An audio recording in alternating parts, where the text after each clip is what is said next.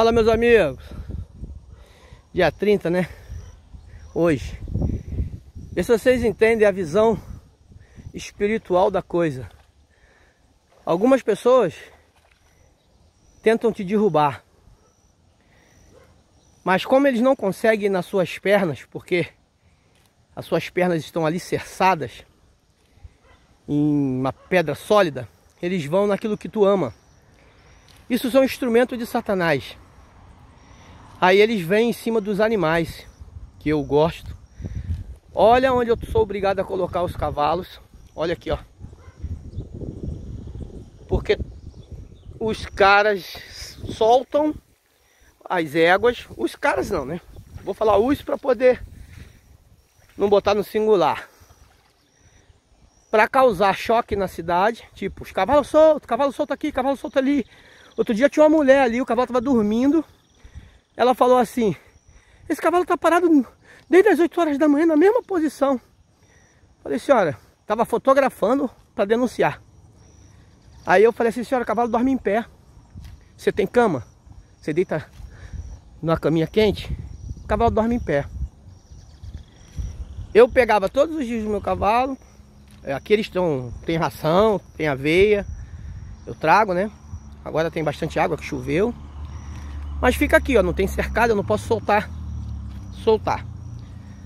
Então, o cara vibra de felicidade porque ele acha que está te derrubando, denunciando que você cuida do seu animal.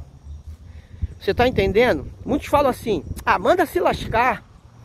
Não adianta mandar se lascar quando você tem um sistema totalmente corrompido e podre de gente preguiçosa que ele prefere vir na sua casa e fazer você ser o culpado, pelo cara ser um, um Zé Ninguém, né? Tá lá minha outra égua lá embaixo, né? Olha ela lá. Tudo magrinha, gorda igual um boi, parece até que tá esperando filhote. Aí os caras vêm na tua casa procurar um cavalo dentro da sua casa. Olha onde os cavalos estão. Olha o espaço que os cavalos têm. Você tá entendendo?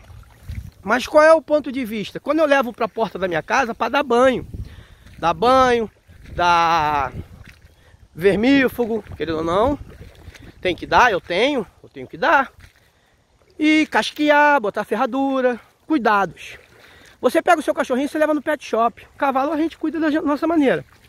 Ali está minha égua ali, ó. Aí você, zoiudo, você que é o rico da penha, que precisar, essa daqui é mansinha, essa aqui é para idiota. Qualquer frouxo anda. Ela é boazinha, mansinha, bem domada. Você precisar de uma terapia, eu consigo botar você. E tu acha que tu, vocês me ofendem. Eu ando na água assim aí, ó. ó. Não tô nem aí. Pra mim isso aqui, cara, é maior terapia. E a sua terapia é infernizar a vida dos outros. Vocês. Vocês descem daí de cima, vem pra cá. Toca som até 6 horas da manhã. Né? Achando que tá incomodando eu vou fazer ele ficar maluco. Mas quem tá ficando maluco é você, irmão. Meu maior fã. Você continua ali no meu, no meu kawaii, no meu TikTok. Rapaz, você tem uma esposa tão bonita, dá atenção para ela. Dá atenção para sua esposa, pega sua esposa, vai passear, você não é rico.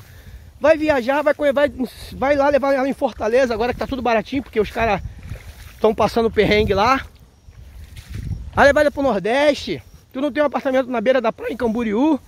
Vai pra Camboriú que você vai, vai fazer o que aqui na Penha? Pedrejar o caminhão dos outros?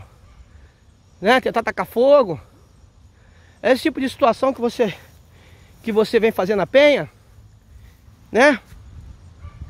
Defamar os outros, falar mal dos outros. Tá aqui, ó. Vê se tá magra. A tua inveja, a tua raiva é que a gente não se curva à autoridade de de pessoas invejosas. Eu sou um cara que eu trabalho. Trabalho sol a sol. Entendeu? De segunda a segunda, sem folga.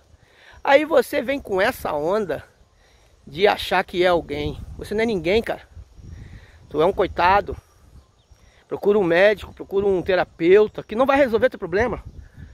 Teu problema é se, se existe reencarnação, mil reencarnações não vai transformar numa pessoa melhor. Porque um é recalcado e o outro é invejoso. Ou os dois têm inveja e recalque. Tá aí, ó. Lindos e lindas. Fora o outro que está no outro lugar e a outra.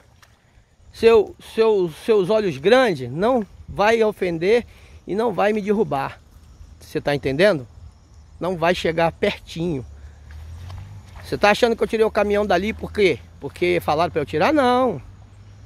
Eu tirei dali porque ele vai para reforma. É que quando eu estava saindo, o cara entrou com o carro lá e está terminando. Aí quando ele vier para reforma, ele vai estar tá bonitão. Aí qual vai ser a sua queixa? Que está bonito? Que é bonito demais?